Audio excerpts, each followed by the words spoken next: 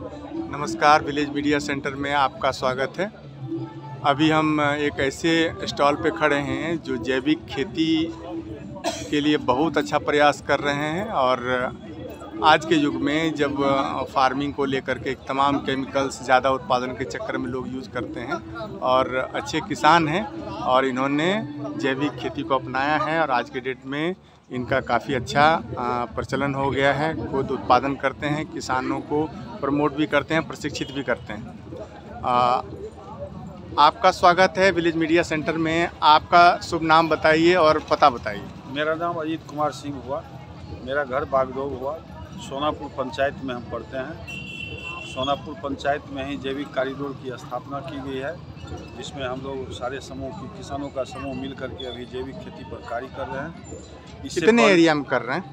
लगभग सत्तर एकड़ में काम सत्तर एकड़ में कर रहे हैं। आपका स्टॉल है यहाँ पे खेती का प्रोडक्ट भी है।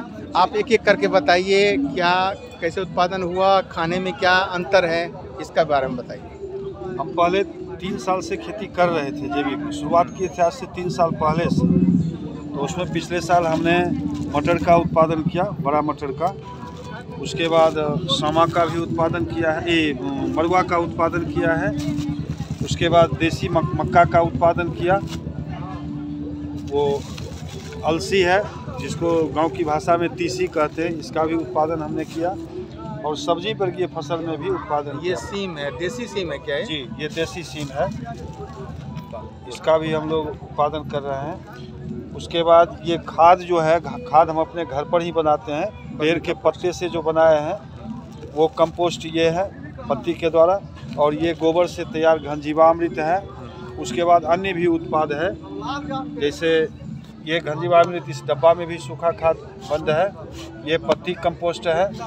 ये बिल्व रसायन है जो पोटास के विकल्प में काम करता है बेल से बनाते हैं। जी पका हुआ बेल से। तैयार किया जाता है। पोटास की जगह इसी का प्रयोग हम लोग करते हैं। उसके बाद तंबाकू पानी है विशेष कीड़ा अगर परेशान करता है तो उसमें तंबाकू पानी का हम छिड़काव करते हैं पानी में मिला करके। उसके बाद पंचपर्णी है पाँच पत्ते से बन, बनाया गया है ये कीटनाशक। ये भी कीटनाशक है जिसका हम छिड़काव करते हैं कीड़ा के प्रकोप से बचने के लिए। ये जीवामृत है पौधों को ताकत प्रदान करने के लिए जीवामृत का चूँकि जैविक खेती में बिना जीवामृत का जैविक खेती संभव ही नहीं है। ये डीकम्पोजर है जिसका प्रयोग हम खेतों में करते हैं और सूखे अवशिष्ट पदार्थों को सराहने के लिए डीकम्पोजर का प्रयोग करते हैं। ये गाजर घास है जिससे हम यूरि, यूरिया का विकल्प है ये।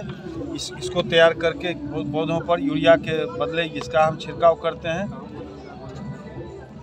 फ्लावरिंग के लिए ये सररस है, जिस पर छाछ लिखा हुआ है, छाछ से ही तैयार किया गया है। तो इसमें ये, इसको हम लोग सररस बोलते हैं। सररस का फ्लावरिंग के लिए और फूल का विकास करने के लिए और फल का भी विकास करने के लिए इसका छिड़काव तीन बार किया जाता है।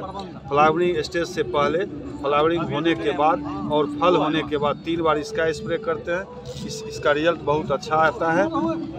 और ये ह्यूमिक एसिड है।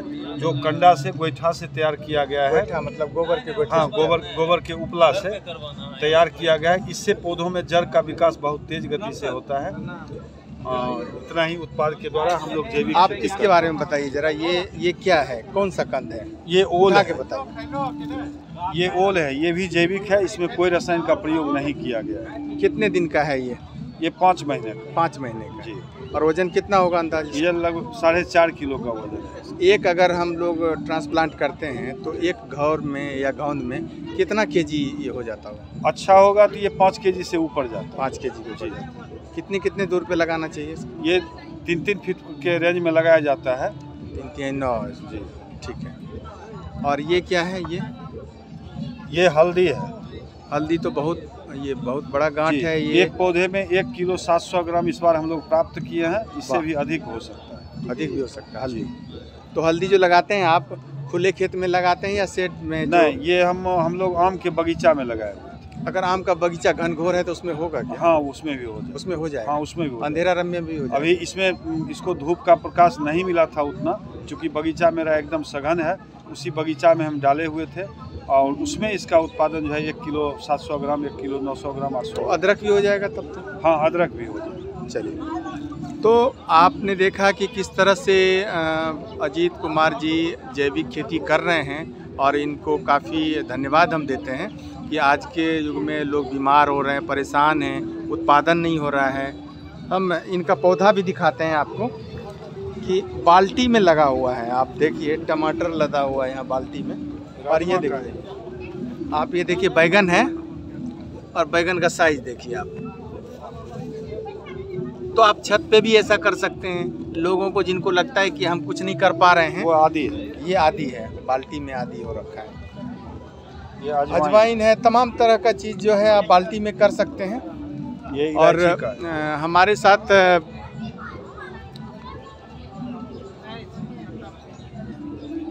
कृषि के जानकार भी हैं। सुधांशु जी, आप बताइए, जैविक कॉरिडोर जैविक खेती, तमाम ऐसा हो रहा है इम्प्लीमेंट लोग कम कर रहा है, लेकिन आपके ज़िले में किसान बहुत एक्टिव हैं। बहुत ऐसे किसान हैं जो हमें लगता है कि काफ़ी उन्होंने अपना पैसा खर्चा करके इसको अडॉप्ट किया है।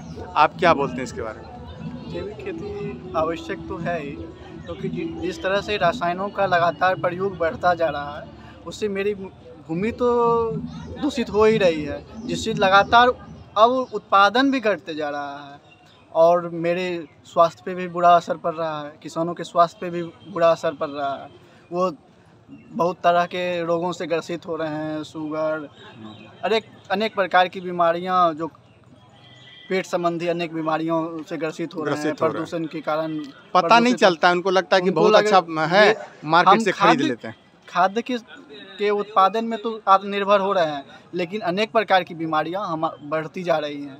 इस बीमारियों से दूर रख होने के लिए आवश्यक है कि हम पहले आदमी कम खा के भी अधिक दिन तक जीवित रहता। था। आज की स्थिति ये है कि भोजन तो परिवार मिल रहा है लेकिन हम लोग पौष्टिकता नहीं है, तरह- तरह की बीमारी से ग्रसित ग्रसित हो। रहे हैं। चलिए बहुत अच्छा है और दो दिवसीय जो मेला है इसमें आपका स्टॉल लगा है। बहुत किसान ले भी गए होंगे खरीद के आपसे आइटम। जी जी सर। चलिए बहुत बहुत धन्यवाद। हम आशा करते हैं कि आप तरक्की करिए और जैविक खेती बढ़े सबसे पहले तो आपके परिवार का स्वास्थ्य अच्छा होगा आपके कुटुंबों का स्वास्थ्य अच्छा होगा। इसी उद्देश्य को लेकर के सबको खेती करना चाहिए। जी थैंक यू धन्यवाद।